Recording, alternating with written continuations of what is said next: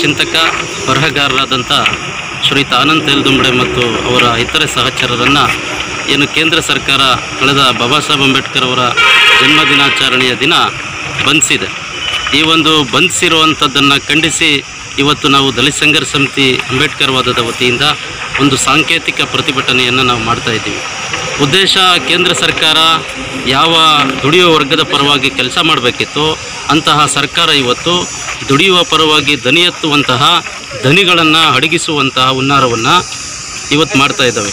ರಾಷ್ಟ್ರದ್ರೋಹದ ಪ್ರಕರಣವನ್ನು ದಾಖಲಿಸುವ ಮೂಲಕ ಇವತ್ತು ದುಡಿಯುವ ಜನರ ಪರವಾಗಿ ಕೆಲಸ ಮಾಡುವಂಥ ವ್ಯಕ್ತಿಗಳು ಮತ್ತು ಸಂಘಟನೆಗಳ ವಿರುದ್ಧ ಈ ರೀತಿಯ ಮೊಕದ್ದಮೆಗಳನ್ನು ದಾಖಲಿಸಿ ಅವರ ಧ್ವನಿಯನ್ನು ದಮನ ಮಾಡುವಂಥ ಎಲ್ಲ ರೀತಿಯ ಸಂಚು ಈ ದೇಶದಲ್ಲಿ ನಡೀತಾ ಇದೆ.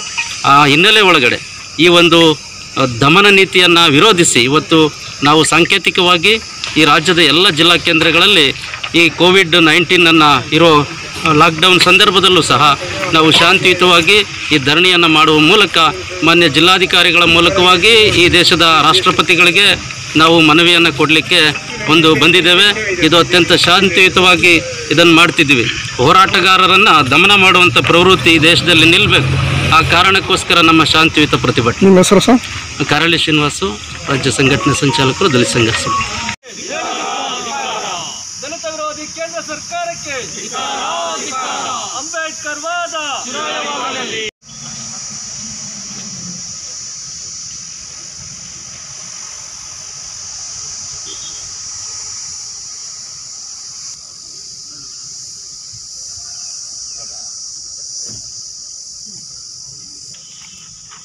뭐라는지 알아놓는 거야? 뭐야?